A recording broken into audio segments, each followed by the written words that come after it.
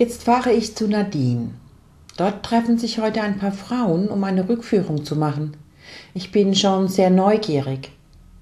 Wir sitzen in einer recht großen Runde und Nadine fragt, wer möchte über die Hypnose für uns die Rückführung machen? Eine Frau meldet sich und meint, da ich sehr im Denken bin, möchte ich das mal ausprobieren. Ich bin gespannt, ob das wirklich klappt.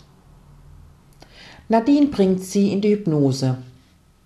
Ich am Rande sitzend, weil manche Sachen mir einfach noch suspekt sind, beobachte alles und höre zu. Nadine führt die Frau, welche uns erzählt, in welchem Jahr sie gerade ist und in welchem Land, in diese Trance-Reise. Richtig wohl fühle ich mich nicht.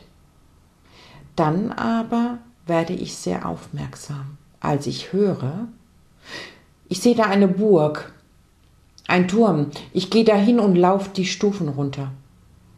Ich gehe rechts durch eine grüne Tür in einen Raum hinein. Dort sehe ich eine Frau, sie sieht furchtbar aus.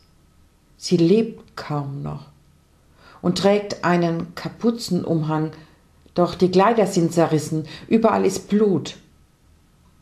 Punkt, Punkt, Punkt, Punkt, Punkt.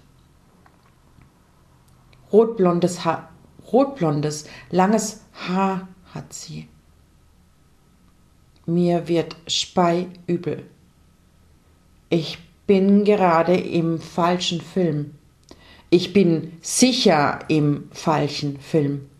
Die grüne Tür zu dem Raum, in den sie rechts hineinging, die rotblonde Frau mit Kapuzenmantel, die Burg, der Turm, das alles hab ich doch erlebt. Einst auf einer geführten Trance-Reise. Genau so, aber wirklich genau so, wie sie es gerade erzählt. Das geht nicht. So viel Zufall kann es doch gar nicht geben. Ich drück mich in meinen Stuhl rein, mach mich klein. Ich würde am liebsten gerade gar nicht da sein. Mein Unterleib fängt an weh zu tun. Abhauen will ich. Ich beruhige mich selbst. Lara, warte ab.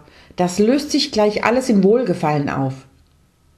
Ich höre weiter der Frau in Hypnose zu. Sie spricht.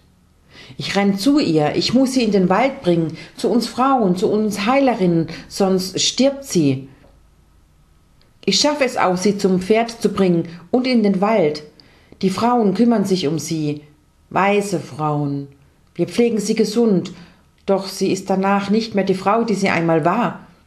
Ihr Herz war hart geworden. Sie wurde zu einer Frau, die von Männern nichts mehr wissen wollte. Sie fühlt sich so kalt an und sie erzählt uns, dass da dieser Mann mit seinen Mannen kam und sie wurde von allen vergewaltigt. Nadine fragt, wer ist diese Frau? Ist sie unter uns? Sie erhält als Antwort, Lara ist es. Und ich weiß auch, wie der Mann heißt. Ich höre den Namen nicht mehr von diesem Mann, weil ich nur einen Satz höre, der nachklingt und nachklingt. Lara ist es. Ich kann das nicht glauben. Ich mag das nicht glauben. Es kann doch nicht möglich sein, dass diese Frau, die mich nicht kennt, die gleichen Bilder hatte wie ich einst. Punkt, Punkt, Punkt, Punkt, Punkt. Auszug aus meinem Roman Spannende Leichtigkeit, Lara im Dschungel der Gefühle und das Bild ist ähm, von Pixabay, von Enrique Miss, Missege, kann ich nicht lesen, steht im Text beim Video.